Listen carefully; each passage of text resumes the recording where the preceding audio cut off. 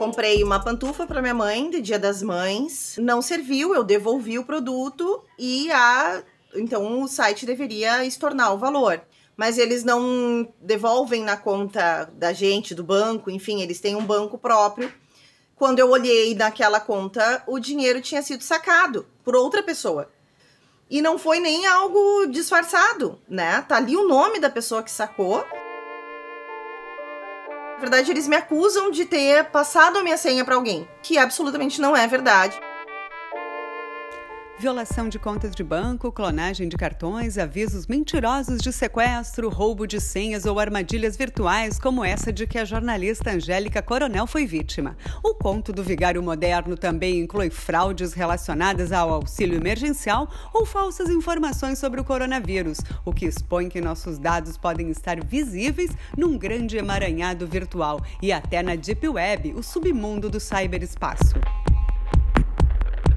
Todos os dias, todo mundo recebe uma série de e-mails não solicitados.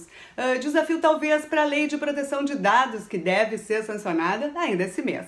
Pesquisas também apontam que mais de 12% dos usuários de internet no Brasil acabaram acessando no primeiro semestre ao menos um link que direcionava para páginas maliciosas.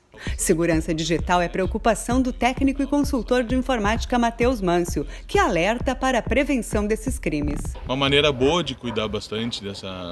comprar com mais segurança na internet né, é cuidar a questão do protocolo de, na, do site. Né, ele tem que começar com HTTPS, que o S significa que, uh, que mostra que o site está seguro, cuidar o site que tu vai navegar, vai entrar no, na, da loja online, né, verificar sempre a procedência, se uh, verificar se tem o endereço do, da loja no site. Em todas as lojas virtuais tem que constar telefone, endereço, e-mail de contato, CNPJ da empresa. Cuidar bastante desses anúncios patrocinados com ofertas muito vantajosas, né? Por exemplo, de um celular que custa dois mil reais ofertando por 400 reais. Né? Isso aí é golpe.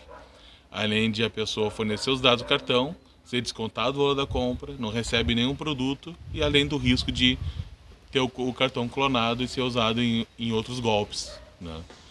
Para mais conhecimento sobre prevenção dessas fraudes, iniciativa da Polícia Civil Gaúcha, a Secretaria de Segurança Pública do Estado também tem publicado uma cartilha que esmiuça alguns golpes aplicados via web.